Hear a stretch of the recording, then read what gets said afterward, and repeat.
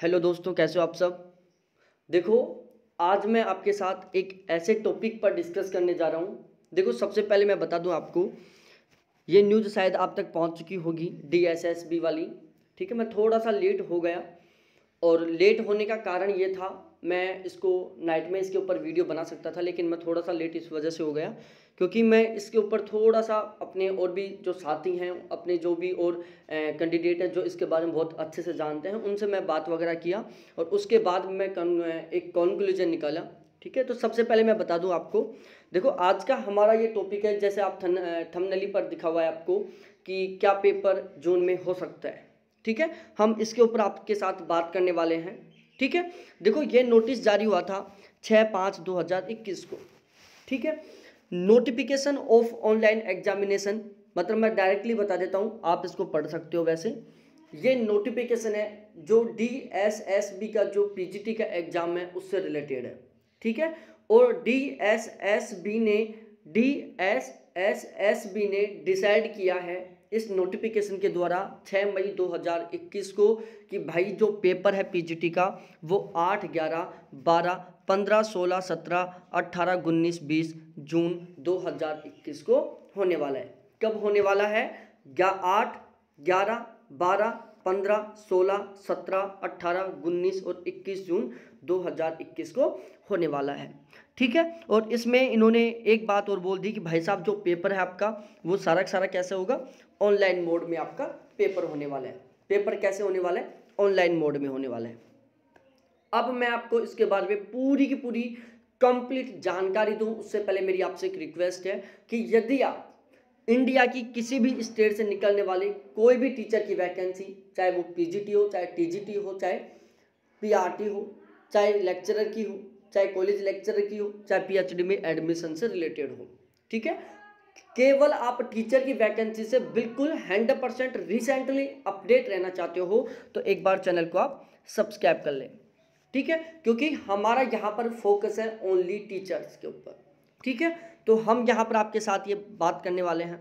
उससे पहले मैं आपको बता दूँ, देखो आपका जो ये पेपर है ऑनलाइन होगा कंप्यूटर बेस्ड ऑनलाइन पेपर होगा आपका ये। अब इसमें मैं बता दूँ एक बार देखो ट्यूसडे आठ छः दो हज़ार इक्कीस को पेपर होने वाला है किस किस का? जोग्राफी का और इकोनॉमिक्स का। फिर ग्यारह तारीख को पेपर होगा कंप्यूटर कंप्यूटर साइंस का और मैथ का। उसके बाद बारह तारीख को पेपर होगा फ़िज़िकल एजुकेशन का। उसके बाद पंद्रह को होगा हिस्ट्री और हिंदी का।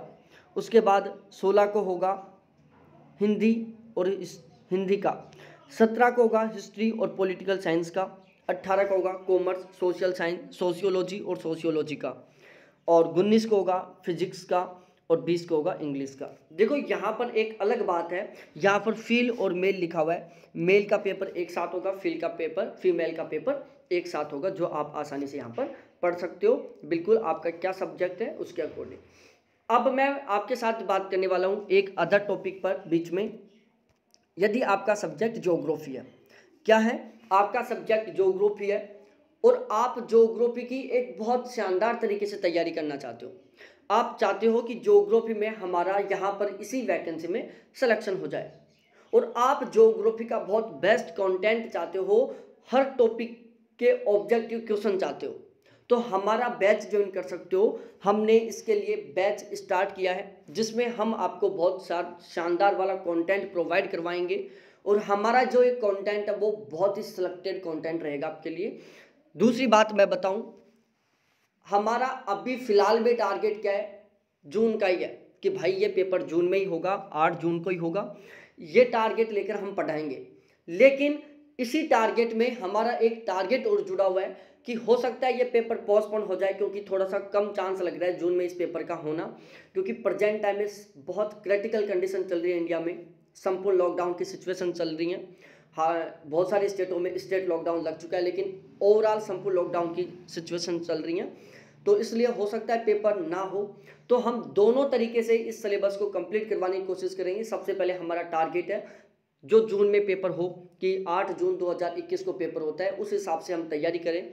यदि आज हमारा स्कोर जोग्राफी में 60 परसेंट हो रहा है। तो 30 दिन में हम इस तरीके से पढ़ें, ऐसा कंटेंट पढ़ें कि ये स्कोर हमारा 80 परसेंट पहुँच जाए।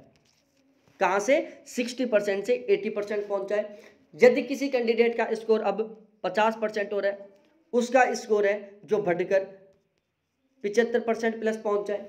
हम इस तरीके से यहाँ पर आपको पढ़ाने वाले हैं। तो यदि आप जोग्राफी का बहुत शानदार वाला कंटेंट चाहते हो, बहुत गजब तरीके से तैयारी चाहते हो ओवरऑल अपना सिलेक्शन लेना चाहते हो तो आप हमारा बैच ज्वाइन कर सकते हो जोग्राफी का seven eight nine one three five zero four seven zero अठहत्तर इक्यानवे पैंतीस ज़ीरो चार सत्तर, ये मेरे व्हाट्सअप नंबर हैं।